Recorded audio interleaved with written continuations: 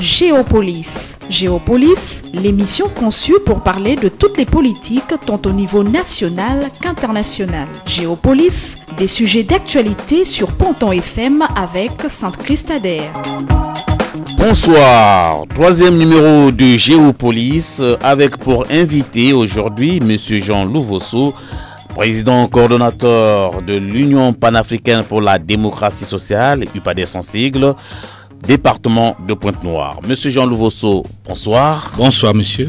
Alors, Géopolis, le commentaire est libre, les faits sont sacrés et de la contradiction jaillit la lumière. Géopolis, c'est une émission qui parle de toutes les politiques, tant nationales qu'internationales, qui peut également parler de des politiques d'environnement, des politiques de société, toutes les politiques y afférentes. Alors, avec vous, Monsieur Jean Louvosso, vous êtes membre du parti de l'Union panafricaine pour la démocratie sociale. Euh, vous avez fait votre rentrée politique il y a une semaine. Alors, qu'est-ce que vous êtes dit là-bas, Monsieur Jean Louvosso ben, euh, Beaucoup de choses. Mais l'essentiel, c'est que nous avons essayé de donner notre opinion sur l'ensemble euh, des questions qui touchent la vie politique, sociale et économique du pays. Voilà un peu le but de cette entrée politique. Alors, finalement, Monsieur Jean Vosso, combien y a-t-il de l'UPADES? Ah, mais je vous dirais que euh, si je vous dis qu'il y a plusieurs UPADES, je mentirais. Parce que l'Union panafricaine euh, pour la démocratie sociale est un parti et un seul, il n'y en a pas deux. Il y a un seul. Vous faites peut-être allusion à des années passées où il y avait UPADES qu'on appelait fond blanc, on appelait UPADES jaune. Mais tout ça, c'est derrière nous. Il y a eu la réunification. Oui, M. Jean Louvosso, il y a eu quand même ceux-là qui ont réclamé à corps et à cri, il y a eu à, à Dia qu'ils étaient fondateurs de ce parti. Mais le fondateur d'un parti politique n'est pas obligé d'être, de par lui-même, et par force, membre du même parti pendant autant qu'il peut. Il y a des critères pour, être, pour rester au parti, même si on est fondateur. Bon, en fait, puisque vous parlez des fondateurs, je ne sais pas lesquels, mais je ne pense pas que... on peut, on peut les citer nommément. on a entendu parler de Mukweke, qui était membre fondateur. Il n'a jamais été membre fondateur. on a parlé de Tamba Tamba, quand même. Vous n'allez pas les exclure comme ça. Non, ils ne sont pas exclus du parti. Ils sont membres du parti, mais ils ne sont pas des membres fondateurs.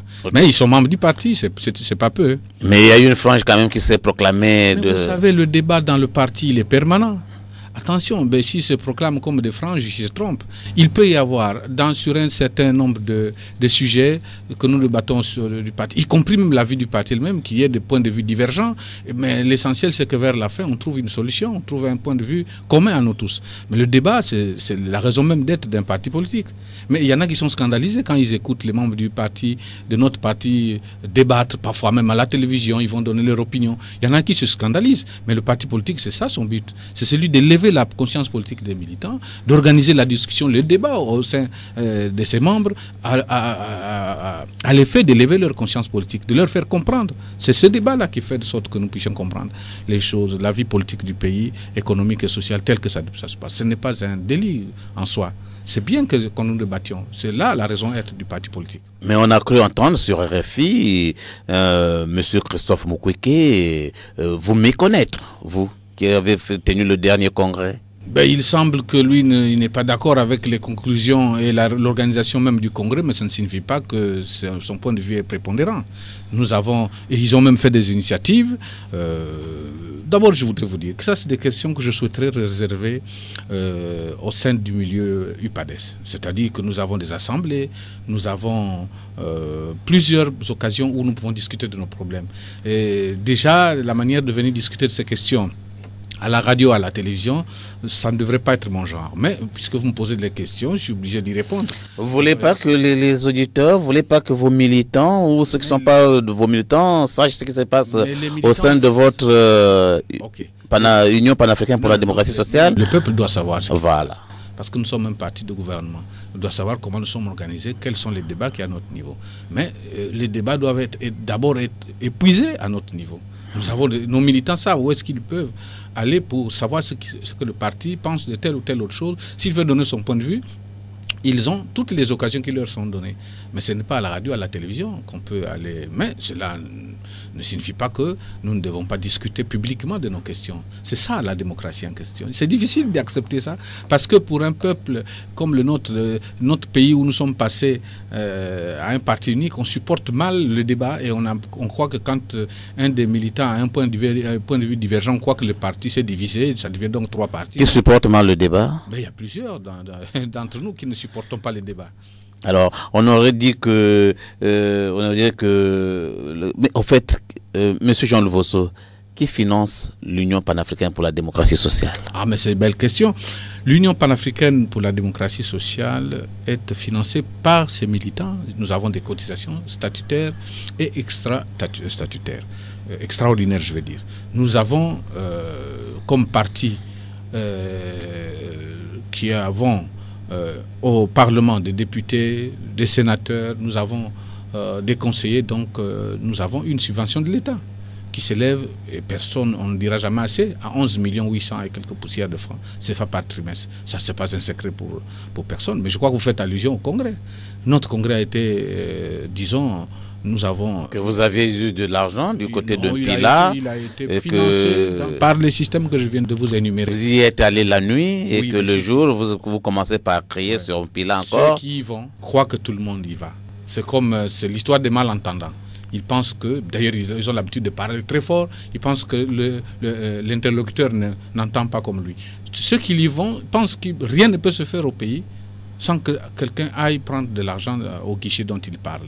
Mais ici, il y a beaucoup de choses qui se font. Les gens ne vont pas en pile pour faire. Il y a beaucoup de commerçants qui travaillent, il y a beaucoup de gens qui travaillent et qui gagnent euh, leur vie sur la base de la sueur de leur propre front. Et jamais ils ne sont allés en, Pila. Oui ou non, êtes-vous allé en Pila, M. Jean de Vosso Ça, je pense que c'est des affabulations. C'est des affabulations. Oh, mais disons même que le, euh, ce sont des petites causeries. Donc, le premier secrétaire dit c'est des questions de café. Quand on est au café, on dit on a dit. Vous vous, présentez un bar ou un, un, Ganda, on dit X a dit, Y a dit. Il pense qu'il a fait ceci, il a fait cela.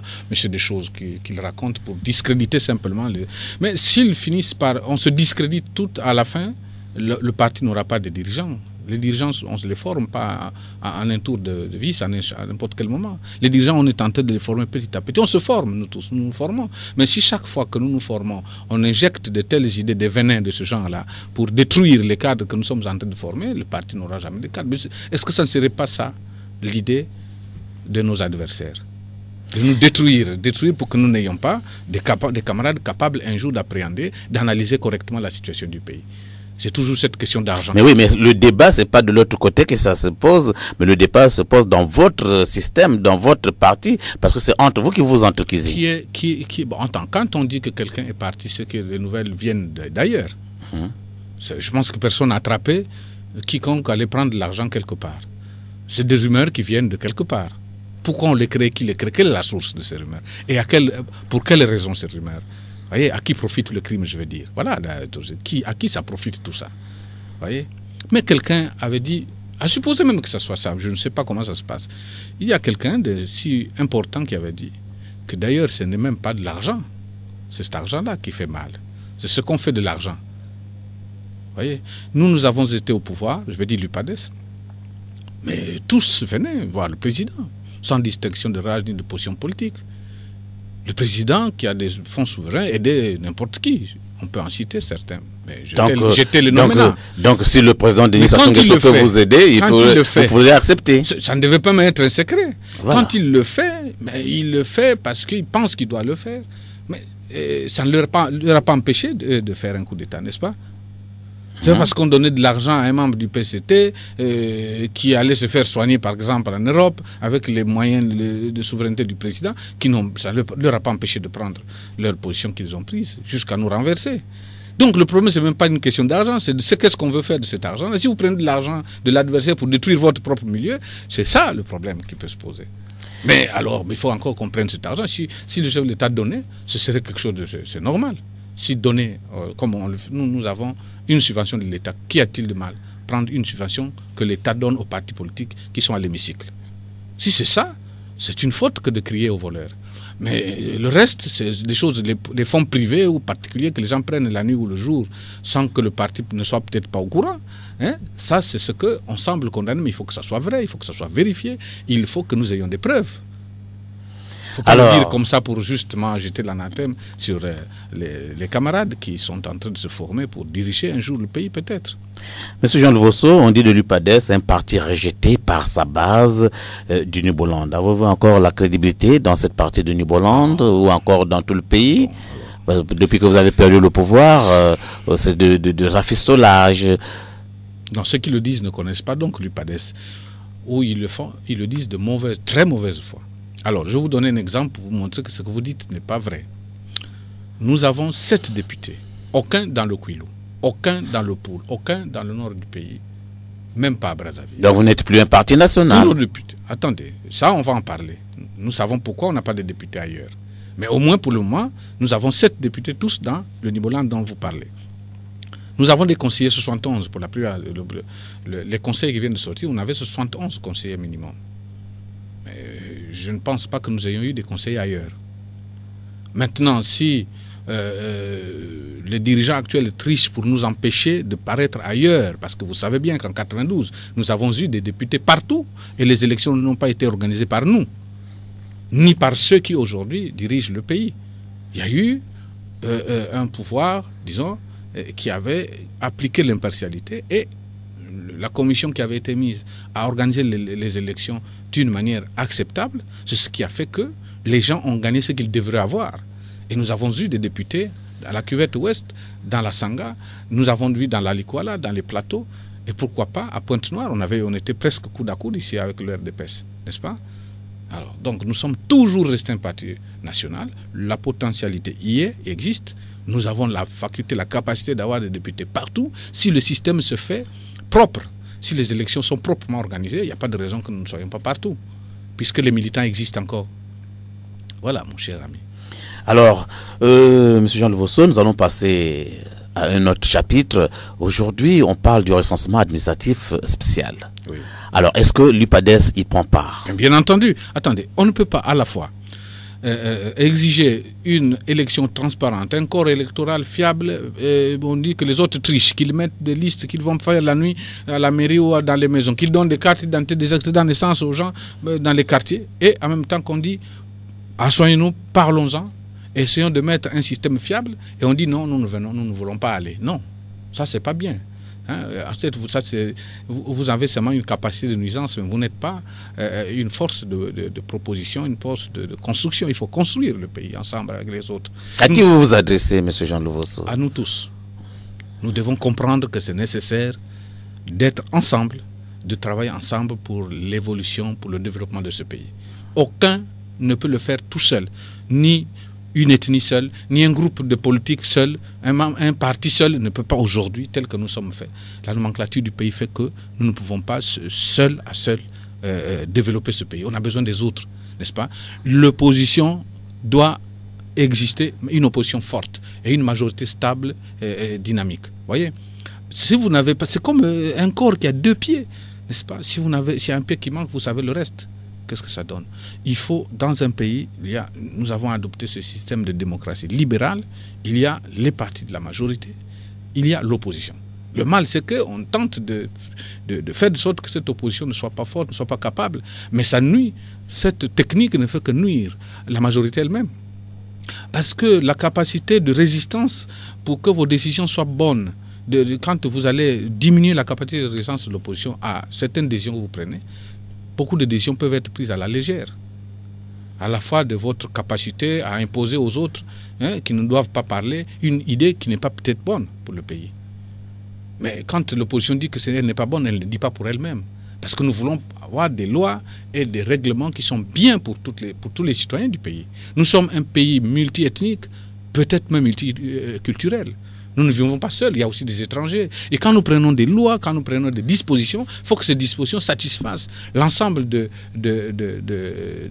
nos populations, y compris ceux qui sont venus, qui habitent chez nous.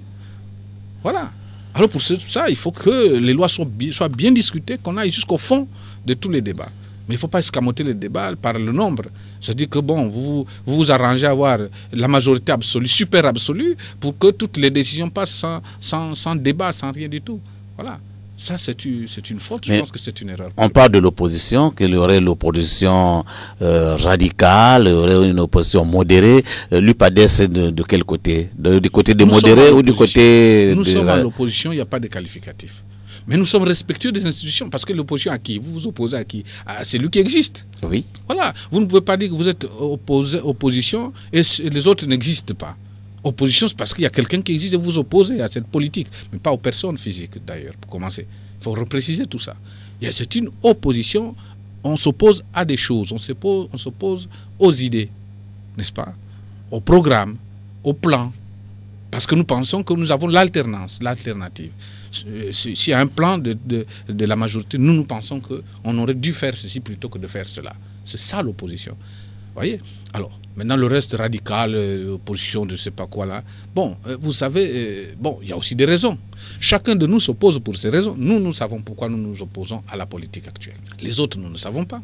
Voilà, on peut imaginer. Mais oui, mais on peut dire que oui, peut-être qu'on a un, adversaire commun. Mais ça ne signifie pas que nous avons les mêmes idées, la même raison de nous opposer à cet adversaire. Et ça, ça change les choses, justement.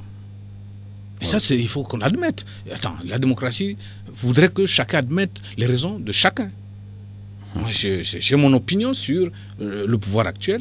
Vous avez peut-être une autre opinion. Bon, mais euh, votre opinion peut faire de sorte que vous ne soyez pas d'accord avec le pouvoir. Nous avons donc en commun un adversaire, mais nous n'avons pas les mêmes idées. Ouais. Voilà. C'est ce qui peut démontrer qu'il y ait plusieurs oppositions. Mais bon, la démocratie, c'est aussi cela. hein. On n'allait pas étouffer les autres. Voilà. Voilà, il faut leur laisser évoluer. Peut-être que euh, un jour l'histoire leur donnera raison. Mais entre-temps, nous faisons comme nous pensons. Revenons-en au recensement, Monsieur Jean Louvosso, Monsieur le Président. Euh, Est-ce que vous avez demandé à vos militants, à vos sympathisants d'aller se faire recenser? À chaque fois que l'occasion se présente, nous avons toujours demandé à nos militants de se faire recenser parce que c'est nous qui avons demandé ce recensement. Voilà. Et maintenant, je profite de l'occasion pour demander à tous les militants, ah, peut-être pas tous les militants seulement, à nos militants seulement. Parce que, euh, attention, ici, il s'agit des élections. Donc, l'électorat, tout Congolais en âge de voter à partir de 18 ans doit se faire recenser pour qu'il décide, qu'il participe à la prise de décision du pays. Voilà. Et ici, ça dit des décisions importantes parce qu'il faut élire euh, des représentants, ceux qui doivent gérer votre vie. Si vous ne, si vous ne donnez pas votre avis, ils gèrent sans vous. Mais personne n'est capable d'arrêter. Nous, nous avons en 2002, on a dit on ne va pas aux élections. On n'est pas parti, mais le pays ne s'est pas arrêté.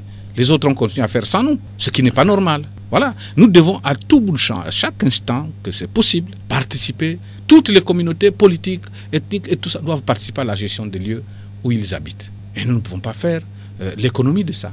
Nous devons participer à la gestion du pays. Et pour ce faire, nous devons participer au choix des dirigeants qui doivent gérer, prendre les lois à notre place, prendre les délibérations. Nous n'avons pas le droit de nous rétracter. Voilà pourquoi nous demandons à tous nos militants de, se faire recenser. Et si vous avez des problèmes pour lesquels vous pensez que, bon, écoutez, la majorité fait ceci, le gouvernement fait cela, les gouvernants ou bien les pouvoirs publics, mais quoi qu'il y a de mal avoir une voix pour sanctionner la voix peut vous permettre de voter, mais aussi de sanctionner celui que vous pensez qui, agit mal. Mais si vous n'avez aucun instrument, vous allez parler en l'air, vous allez parler à haute voix pour rien. On vous donne là un instrument pour que vous puissiez décider, euh, participer à la décision qui, p- permet, qui vous permettra de, de choisir les, les- les gens qui doivent décider à votre place. En faisant cela, vous ne trahissez pas vos amis de l'opposition, non? Mais les amis de l'opposition, qu'est-ce que c'est les amis de l'opposition? Parce qu'ils n'ont pas été à la concertation de Dolizy. Hein? Et ils ne, ils ne veulent pas, ils demandent même pas à leurs militants d'aller se faire recenser. l'alternative? Parce que euh, c'est bien beau de dire qu'il ne faut pas se faire recenser. Je vous ai déjà dit que les autres peuvent faire sans nous. L'alternative, c'est quoi? On ne veut pas se faire recenser, donc on ne va pas aux élections, donc on laisse les autres gérer. Ils sont responsables de ce qu'ils font. C'est pas vrai. L'opposition, comme la majorité, nous sommes tous responsables de la vie politique du pays. Et nous ne serons pas écartés de la responsabilité parce que nous avons dit on n'est pas dedans. Faute de n'avoir fait, nous aurons aussi tort. Il faut que nous intervenions en quelque manière que ce soit. Même si on nous l'empêche, il faut trouver un, moyen d'intervenir. Donnez au moins notre point de vue. Mais l'histoire jugera. Mais nous n'avons pas le droit de nous retirer de la vie politique du pays. De laisser les autres gérer comme ils l'entendent. Hein, non, ça, on ne peut pas se le permettre. Qui, à eux de nous chasser peut-être, comme ils l'ont fait en, en 2000, 1997. Mais nous ne pouvons pas nous-mêmes nous fuir. sous prétexte que euh, euh, nous, on ne veut pas être complice de ceci, on est complice de ça. Non. Je vous ai déjà défini, euh, et une bonne fois pour tous, je crois qu'on a compris ce que c'est les oppositions. Il y a des oppositions, plusieurs manières d'opposer. On s'oppose à un, État établi pour, plusieurs, pour plusieurs motifs. Nous, nous sommes pour que le pays, l'alternance doit se passer de manière démocratique, première des choses, pas de coup d'État. Et voilà, nous ne voulons pas que euh, euh, l'alternance au pouvoir se passe avec des coups d'État. Parce que ça fait des pertes de vies humaines inutiles, des pertes de matériel, et on perd du temps et de l'argent. Pour rien. Parce qu'à la fin, tout le monde parle de paix aujourd'hui. Pourquoi il n'avait pas ce mot-là depuis avant? On parle de paix quand vous avez déjà éliminé un certain nombre de vos propres concitoyens. Quand vous avez déjà détruit un certain nombre de structures de votre propre pays. Après, vous dites faisons la paix. Mais il vaut mieux penser à la paix avant. Voilà. Ça, c'est notre, notre credo. Ça, c'est notre credo. Les autres avaient cru bon de prendre les armes. Nous disons que ce n'est pas bon. Et nous nous opposons à cette manière de faire. Cette façon de faire.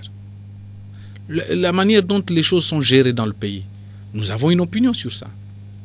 Les revenus nationaux, pour le moment, est très mal géré.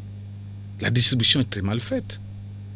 Il y a trop de pauvres le seuil de la pauvreté, il y a beaucoup de gens qui vivent encore sous, le seuil de la pauvreté, plusieurs.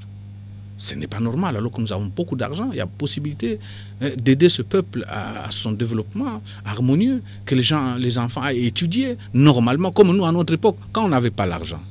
Nous n'avions pas assez d'argent, mais nous avons tous étudié avec les frais de l'État. Oui, on n'avait pas assez d'argent le stade de la Révolution, aujourd'hui Massamba Débat, quand on l'a construit, on n'avait pas assez d'argent. On a fait quelques structures sans rien. Et maintenant que nous avons beaucoup d'argent, on fait, disons même moins. Vous voyez À l'époque, tout étudiant bachelier était euh, boursier de l'État congolais. Boursier. Et tous ceux qui sont aujourd'hui ministres, ils, sont, ils ont bénéficié de ça. Pourquoi ne faut-il faire bénéficier à d'autres générations? À l'époque, quand on venait, on avait déjà un poste, on avait un poste de travail un petit pays, peuple de 3 millions d'habitants, une terre aussi grande, 3, je ne sais pas combien, par hectare. Par, 342 000 km. C'est beaucoup. Nous avons, euh, euh, c'est le même territoire que la Côte d'Ivoire et même l'Italie. Mais l'Italie a 60 millions d'habitants. Mhm. Vous voyez? Alors, c'est le même territoire. Alors, donc, nous avons possibilité de bien gérer nos, nos, nos, revenus. Mais vous étiez au pouvoir, vous n'avez pas bien géré, on, ah dit de vous cela. Ah non, ah non. D'abord, quand nous sommes arrivés au pouvoir, vous savez que là-dessus. Je crois que vous suivez très Vous avez fait quand même 5 ans au pouvoir. Vous avez vu ce que c'était euh, l'argent à l'époque. Le père son le ministre Mouga vous a dit dans une interview qu'il y a des moments où le Congo, dans la caisse, le revenu du pétrole était quelque chose de 12 000 francs, 6 000 francs. nous avons vécu une situation difficile vous le savez bien sur le plan financier. Nous avions la dette colossale du pays, euh, euh, la plus euh, forte du monde par tête d'habitants à l'époque. C'est ce que nous avons hérité de l'époque. Donc nous avons mis un système macroéconomique pour tenter de, diminuer cela grâce au peuple congolais, aux travailleurs qui ont supporté un certain nombre de sacrifices d'ailleurs. Aujourd'hui, c'est le fruit de ce sacrifice qui a été donné n'est-ce pas? Nous avons fait le partage de production, ainsi de suite. Je ne peux pas vous citer autant de mesures que nous avons prises. Donc, des garde-fous pour rendre la vie meilleure aux Congolais plus tard. Mais après, nous n'avons pas achevé. D'ailleurs, on nous a imposé une guerre avant et une guerre après. Voilà, à Géopolis, c'est le débat. Le débat aujourd'hui, il est d'actualité. Et le débat d'actualité, c'est la constitution, la révision ou non de cette constitution de 2002. Alors, euh, Monsieur le Président, que pense l'UPADES? Le président de la République qui est concerné, premier chef, c'est pas seulement lui, puisque s'il si, le devient, c'est pour nous tous. Nous sommes tous intéressés par le sujet, mais le président qui est concerné, parce que c'est sa personne quand même qui est, qui est citée de temps en temps, n'a encore rien dit.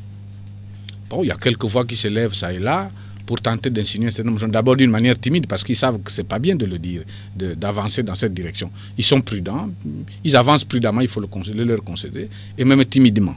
Bon, c'est donc à cela qu'on doit s'adresser, parce que le président lui-même n'est pas concerné par ce qu'on dit là, puisqu'il n'a pas encore parlé. Mais vous savez que les vieilles personnes, tous les vieillards, surtout les vieilles mamans là, quand elles vont, euh, lorsque un de leurs voisins ou une voisine meurt, mais elles pleurent beaucoup, elles roulent par terre parfois. Mais il y a des moments où vous croyez qu'elles pleurent pour la personne qui est allongée. Mais souvent, elles pleurent pour elles-mêmes. Parce qu'elles sentent, à travers l'image de leur collègue qui est décédé, sentent leur mort prochaine. C'est comme ça que je peux justifier les gesticulations des autres.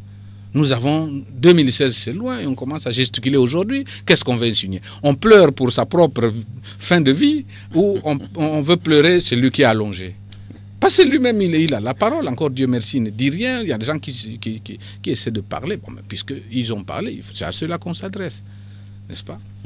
Un homme d'État s'identifie dans sa capacité. D'abord, il faut qu'il soit capable, dans son courage, mais d'après vous, respecter. D'après vous, monsieur le président. Oui, excusez-moi, c'est très important le concept. Un homme d'État, parce qu'il s'agit de définir d'abord les personnes qui doivent. Parce que ceux qui doivent diriger au destin de notre pays doivent être des gens, euh, pas extraordinaires, mais des hommes sérieux. Donc, c'est des hommes d'État qui ont la capacité de respecter leurs propres engagements, d'abord, respecter les lois de la République, de respecter les traités internationaux qu'ils prennent, et de se respecter, respecter le peuple, le servir. C'est ça l'homme d'État. Autrement, on ne l'est pas. Je ne pense pas que le, président Sassou hein, euh, prendra euh, ce que les autres disent là comme étant agent comptant quelque chose de bien. C'est-à-dire on le pousse à dire des choses qui sont contre les engagements qu'il prend lui-même, euh, qu'il a pris lui-même, contre la constitution qu'il a participé lui-même à élaborer à faire voter. Contre, si on arrive là, c'est qu'on veut le disqualifier. Or, moi, je souhaiterais, nous souhaiterons, nous, à l'UPADES, on pense que le camarade, le président Sassou, a fait ce qu'il a fait. Il a beaucoup donné au pays. Et il doit rentrer dans ce rang-là, dans des hommes d'État.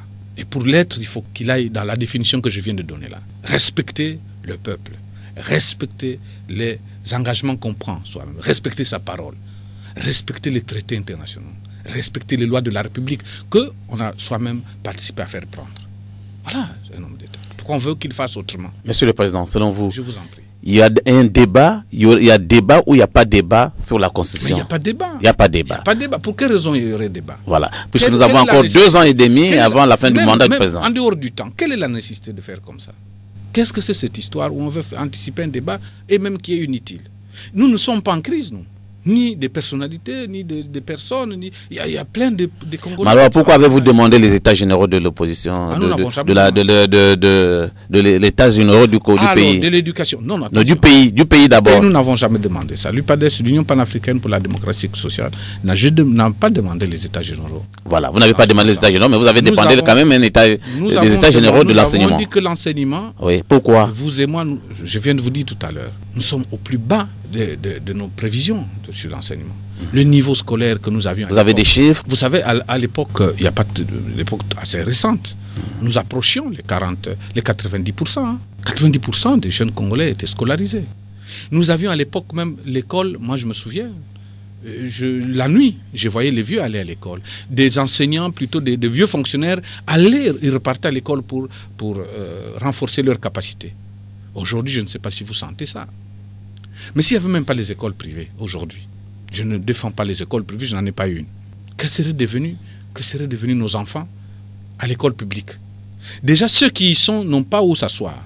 Combien de fois si tous ceux qui sont à Chimbamba allaient à l'école de Chimbamba? Tous, tous les enfants de Chimbamba allaient à l'école de Chimbamba que serait-il quelle, Moi, j'imagine euh, la situation, ce serait la, la, catastrophe. Vous n'avez peut-être pas écouté un enfant aujourd'hui de terminale qui ne sait même pas conjuguer le verbe être. Alors que nous, à l'époque, et à l'époque plus ancienne encore que la nôtre, celle du président Sassou, n'est-ce pas? Mais au CM2, c'était déjà un intellectuel. Rien que ça, on n'a pas besoin de chiffres pour vous écouter vos collègues, euh, vos compatriotes parler, qui sont euh, encore dans des écoles. Ils ne sont même pas capables de prendre la parole pour la plupart en public. Nous étions ici au 7e.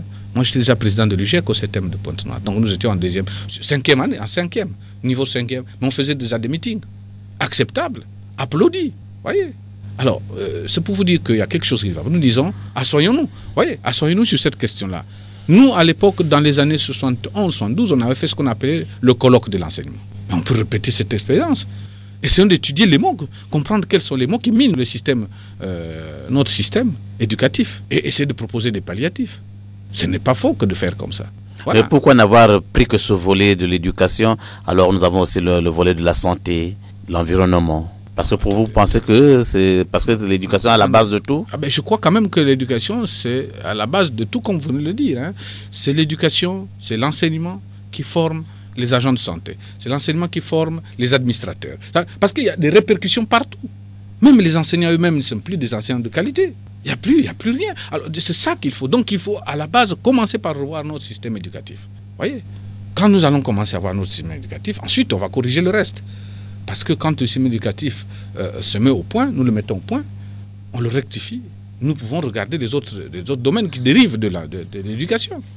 Il y avait, bon, je ne sais pas ce qui se passe aujourd'hui, un ministre de l'éducation civique, ainsi de suite. À l'époque, il y avait un ministre de l'éducation nationale. Mais il ne s'occupait pas que de, l'enseignement. Mais voyez la culture des gens, les, actes de vandalisme, les enfants dans la, dans la drogue, n'importe quoi. Ils rentrent dans n'importe quel, tout ce qui est euh, les, antivaleurs. Mais à vous, à l'opposition, qu'est-ce que vous proposez au gouvernement?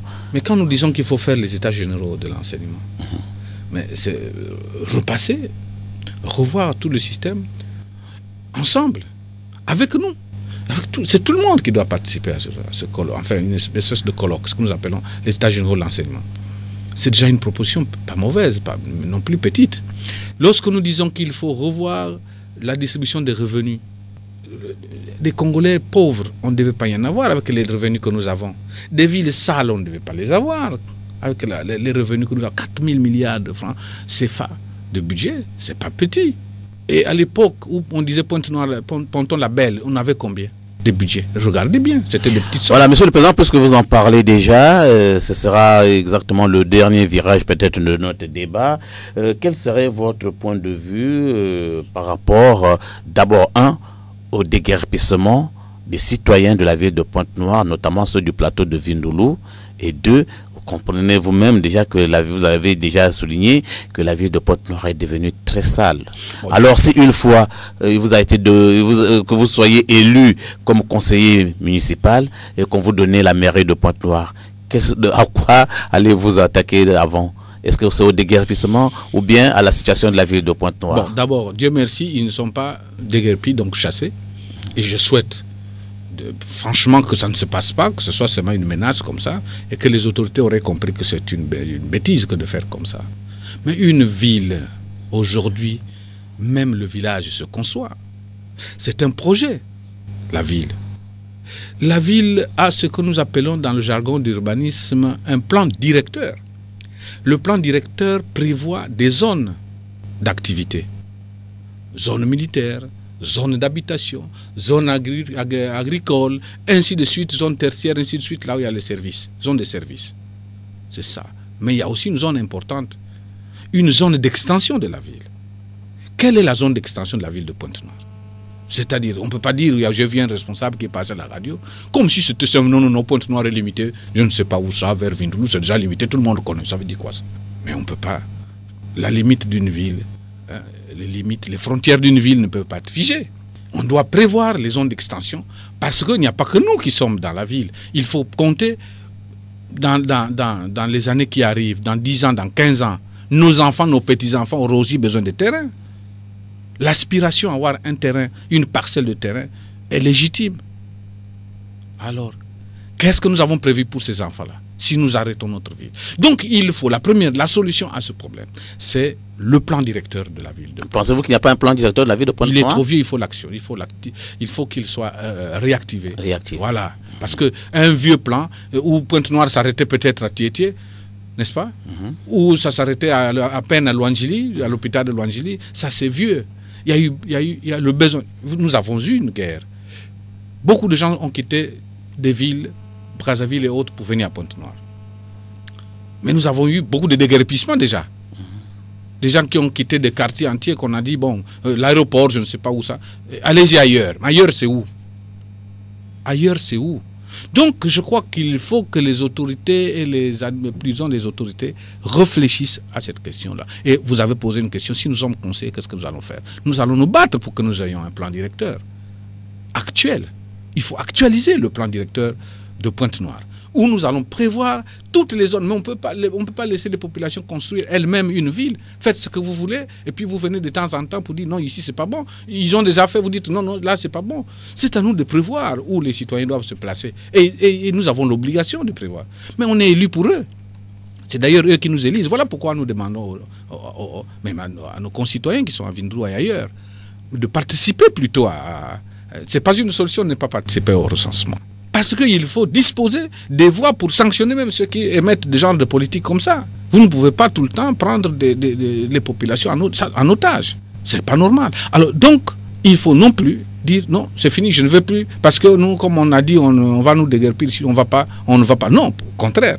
Le meilleur instrument pour euh, intervenir dans cette question, c'est avoir une voix. Et voter le moment échéant.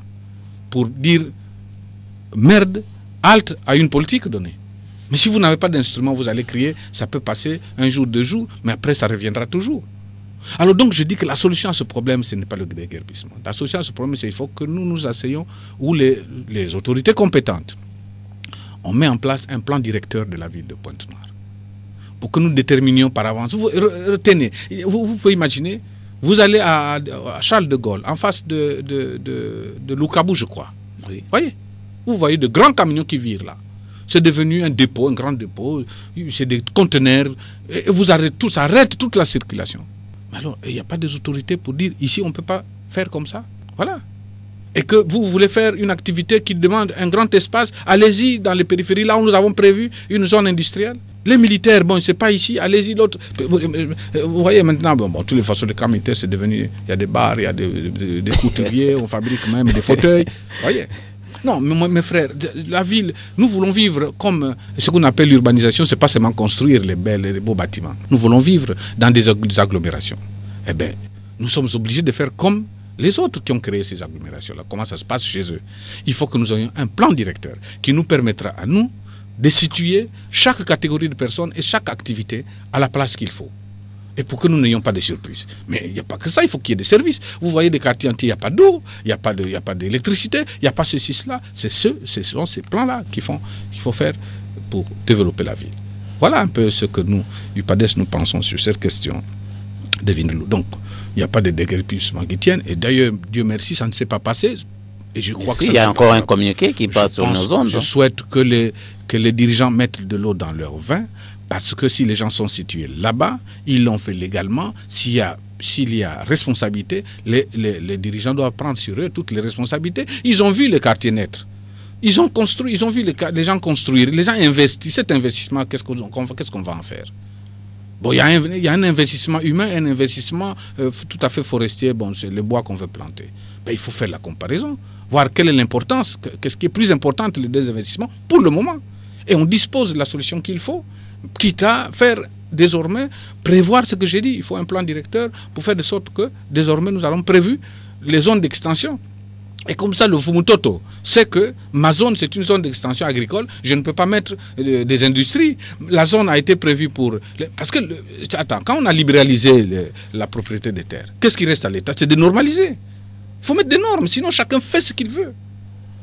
Et vous allez vous étonner quand chacun a fait ce qu'il veut, avec votre propre permission. Vous le voyez faire, puis vers la fin, vous dites arrête quand il a déjà tout fait. Non. Le peuple, ces populations n'ont pas assez d'argent, n'ont pas les revenus très faibles. Quand ils sont débrouillés à construire comme ça, on prend acte et on s'est trompé soi-même puisque certains ont même des, ils ont même des, titres fonciers. Géopolis, la libre opinion, le commentaire libre et les faits sacrés. Sainte Christadère. Alors, Monsieur Jean Louvosso, Monsieur le Président, nous allons vers la fin de notre émission. J'aimerais vous poser une petite question de, de curiosité. Aimez-vous le football? Oh, j'ai joué moi-même ici, oui. Alors que pensez-vous euh, Je n'ai pas été. que pensez-vous du football actuel, notamment des résultats du football actuel? Bon, il faut d'abord rendre un mérite tout à fait appuyé aux, léopards qui se débrouillent. Je ne sais pas comment ils ont fait pour sortir euh, de, de, là où ils sont sortis pour faire des prouesses euh, que nous avons tous constatées. Maintenant, entre-temps, qu'est-ce qui fait que euh, toujours je reviens aux moyens. Au moment où on n'avait pas assez de moyens, mais nous avions un Diable Noir, une grande équipe que je supportais d'ailleurs, parce que j'étais supporté Diable Noir. Ah, vous êtes supporté de Diable Noir Oui, à l'époque. Ah, Maintenant, je n'y pense plus, parce que je ne sais même plus ce qui se passe à Diable Noir. Voilà. Ouais, mais moi, du fond de mon village, je recevais les photos des Diables Noirs, je recevais les correspondants, j'écrivais au président, il me répondait. Je n'avais jamais été à Brazzaville, même pas à d'ailleurs à cette époque-là. Donc on aimait le football du, du fin fond de, de nos villages à l'époque. Aujourd'hui, je ne sais pas si nous avons le même engouement. Mais tenez, mais nos concitoyens se plaisent. Aller, euh, il y a de, beaucoup de, cinémas privés qui sont nés pour aller voir les, matchs. De, voilà, les matchs de l'extérieur. De Barcelone, euh, Real de Madrid. Je ne les ai jamais vus. Alors, est-ce que au, cours, n'est-ce pas, de la rentrée politique de l'UPADES, vous en avez parlé, sinon que en dehors de, du système éducatif qui devient mauvais? Non, nous n'avons pas parlé particulièrement du football, mais c'est un tout. Vous savez, un corps. C'est aussi un centre de l'unité nationale, le lorsque football. vous pensez, euh, vous avez mal au doigt, vous êtes malade. Oui. Voilà. Euh, lorsque vous avez mal à, la tête, vous êtes malade. C'est un tout le corps humain. Le pays, c'est un corps humain. Lorsqu'il y a quelque chose qui ne va pas quelque part, c'est tout le corps qui est malade. Voyez? Si nous, nous, nous, revenons à regarder nos situations, on revoit la question de revenus, on revoit la gestion de, notre affaire, de, de nos affaires en commun. Le patrimoine commun, la gestion du patrimoine commun. Tout le reste, ça va venir. voyez C'est ça le problème. Mais dès lors où le patrimoine commun est, pas très bien géré, mais en partir lesquels c'est l'enseignement, c'est la santé, c'est le sport, c'est partout. Moi, ministre, un jour, je ne pourrai jamais prendre des cahiers pour aller donner aux petits de mon village. Et les autres villages à qui je vais, euh, qui va le leur donner Moi, je vois des ministres là, il a fait un don à l'école de son village. Ah bon? Il est ministre de l'école de son village. Il a fait don au dispensaire de, son quartier. Voilà. Parce que même le ministre a perdu le sens de la nation, de la patrie, qu'il est ministre de la République. Voyez mais s'il ne fait pas ça, euh, ceux de son village euh, l'en voudront. Hein. Il n'est pas, les gens de son village, il n'est pas l'otage de son village. Un ministre, est ministre de la République. Mhm. Il doit élaborer la politique pour aider toutes les écoles du pays le ministre de la Santé doit émettre toutes les politiques qu'il faut pour aider tous les dispensaires, les, les ceci de tout le pays.